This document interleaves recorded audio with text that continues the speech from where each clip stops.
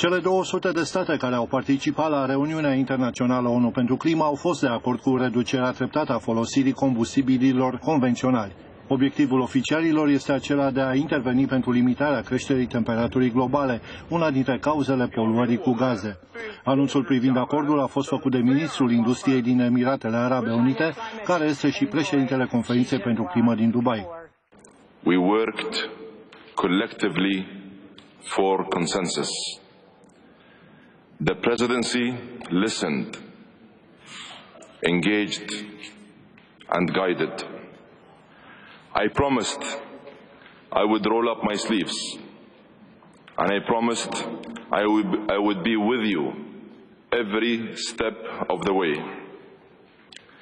And you, my colleagues and friends, you did step up. You showed flexibility and you put common interest ahead of self interest. Un moment important al summitului a fost și anunțul cooperării dintre Statele Unite și China pentru reducerea emisiilor de gaze poluante. Statele Unite și China sunt principalele economii ale lumii, dar și cei mai mari poluatori cu gaze de efect de seră la nivel mondial. Primii pași în acordul dintre cele două superputeri a fost făcut luna trecută în California, când au fost reluate convorbirile americano-chineze întrerupte anul trecut. We fortunately were able to come to agreement with China and the United States that we are as the two largest emitters in the world. Obviously, we understand it's important for us to be able to find cooperation here. No one country, no business anywhere in the world will solve this problem by itself.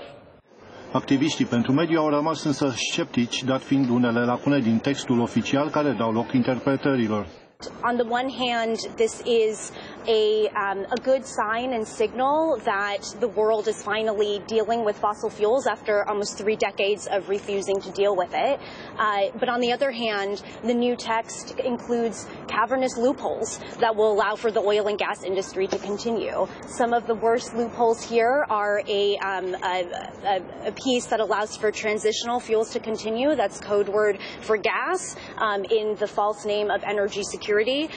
Proiectul adoptat la reuniunea din Dubai este menit să reflecte consensul celor aproximativ 200 de state ale lumii în vederea încetării dependenței de combustibilii fosili și tranziția spre energia regenerabilă.